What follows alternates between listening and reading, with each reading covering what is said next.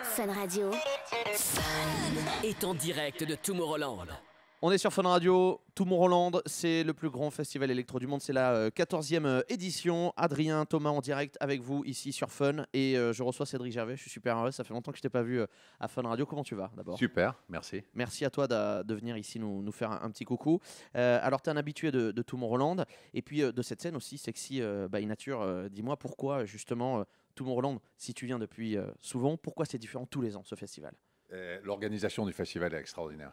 Euh, c'est, je sais pas comment expliquer. C'est, genre, on fait, on fait tous les festivals dans le monde, Ouais. euh, que ce soit Ultra, que ce soit euh, Coachella, tout ça. y a- j'ai jamais vu une organisation comme ça. Ben, juste pour souligner quelque chose, on a un restaurant 5 étoiles Michelin C'est vrai. pour les artistes. C'est, c'est- c'est hallucinant. C'est vrai que toi qui fais beaucoup de festivals, et c'est souvent ce que nous disent les artistes aussi, tu as raison, c'est que tout le monde nous dit, c'est vrai que l'organisation est incroyable. C'est- la, plus belle organisation de, de tous les festivals dans le monde.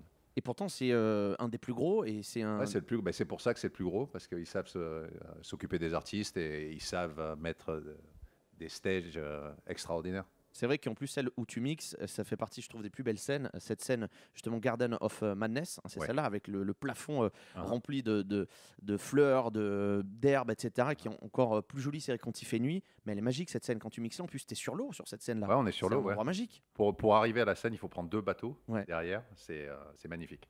Ton dernier morceau, Cédric Gervais, qui tourne toute la journée sur Fun Radio, qui s'appelle Do It Tonight. Merci. Ah, on adore.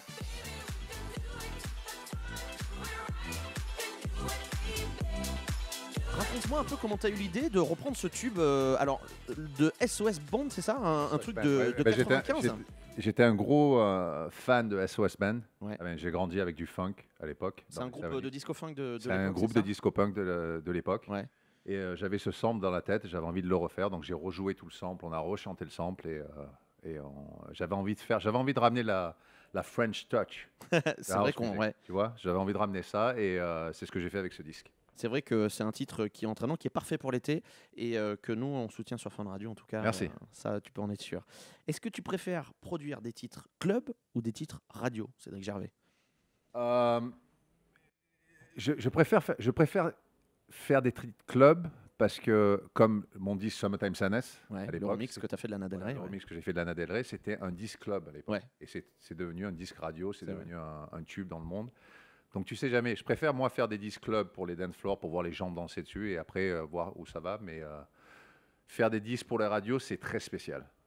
C'est très dur. Tu te mets une autre euh, pression ou... Il y, a- il y a beaucoup de pression. Mais est-ce que quand tu es en studio, tu te dis, tiens, là, je vais faire un titre club, un titre radio Ben, Le problème, c'est qu'après avoir fait un succès comme Summertime Sadness, Ouais.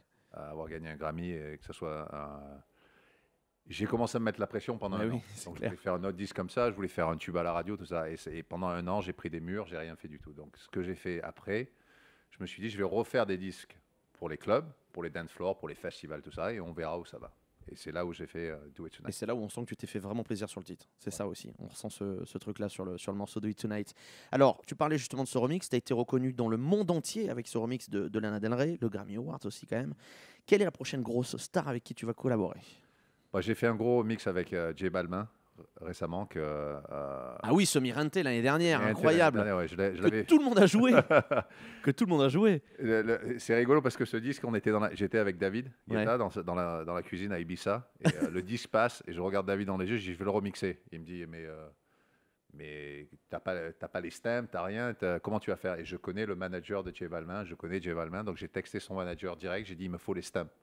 10 minutes les plus stems sont les parties pour expliquer aux les gens toutes de- les parties du morceau. la chanson, de Ouais. tout le morceau. 10 minutes plus tard, j'avais les stems. Euh, le soir même, David s'en va. Moi, je reste à la maison. Il a un studio dans la maison. Ouais. Je produis le disque. Il rentre deux jours après. Je lui donne le disque. Je lui dis ouais, tu le joues à Ushuaïa ce soir. Il est devenu fou. C'est vrai que c'est David Guetta qui l'a starté, je crois, qui a commencé à le jouer. C'est David après, qui a commencé. répandu. Le premier, c'est David qui l'a joué à Ushuaïa Ibiza.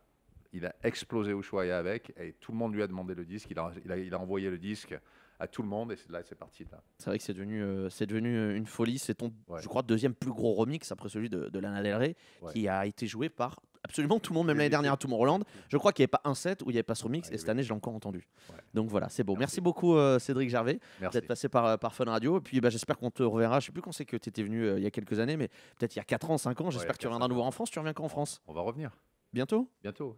Ben, je joue à l'Amnésia d'ailleurs au Cap d'Agde le 5 août. Le rendez-vous est pris avec Fun Radio. Rendez-vous de, de On allait en parler ouais, pour finir. ouais. Et euh, mais je vais revenir. Rendez-vous donc le 5 août à l'Amnésia euh, avec Fun Radio au Cap d'Agde.